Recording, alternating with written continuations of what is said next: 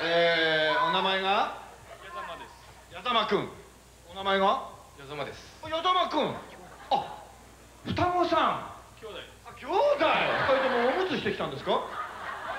チームの売りとしてはどの辺を見てもらえますか？そうですね。僕たち独特の動きっていうか、うん、センスがあるんで。センスがセンスがあるんでね。えうちわはないんでしょ？もちろんね。ごめんなさいね。ほとんど聞いておりませんでしたね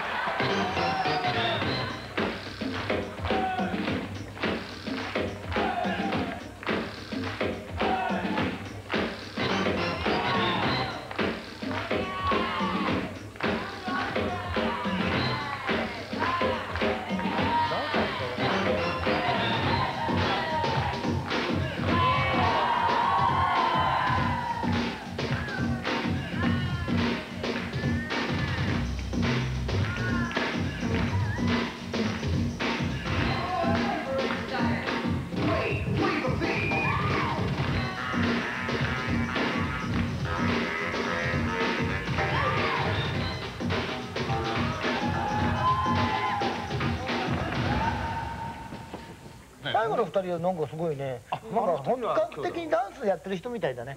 もうかなりのなんとかブラザーズとかね名前つけてね。え次回は名古屋名古屋はやってなかったですね